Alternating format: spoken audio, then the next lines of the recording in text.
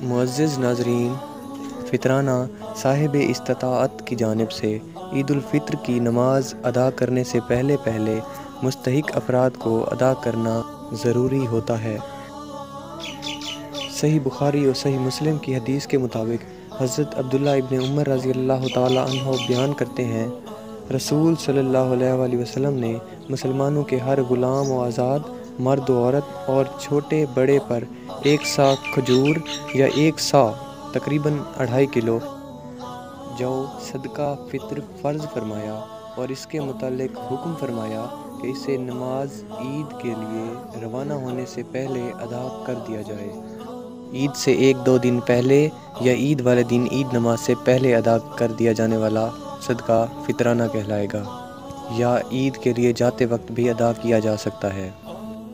ईद की नमाज़ अदा करने के बाद अदा किया गया सदका फितराना नहीं कहलाएगा। कै फितर किसी भी मस्जिद, किसी गरीब, मस्किन को अदा किया जा सकता है।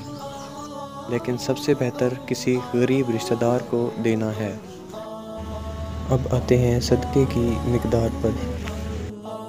साल 2021 के मुताबिक मुफ्ती मुनीबर रहमान ने गंदम का आटा दो किलो चक्की वाला एक सौ चालीस रुपये तकरीबन 140 से 150 के दरमियान इलाके के हिसाब से।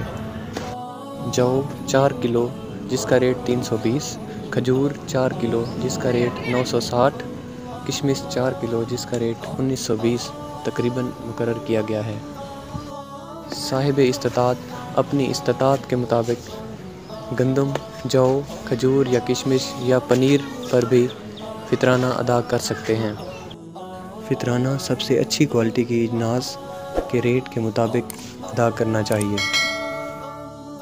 अदना से आला किस्म की क्वालिटी के इजनास के रेट्स दिए गए हैं, जिसको देखकर आप अपने इलाके के रेट्स देख सकते हैं। इस बात का हरगिज़ ख्याल किया जाए कि फ़ितराना अदा करने के लिए इजनास अच्छी क्वालिटी के रेट के मुताबिक तय किए जाएँ, चाहे इजनास कोई भी हो।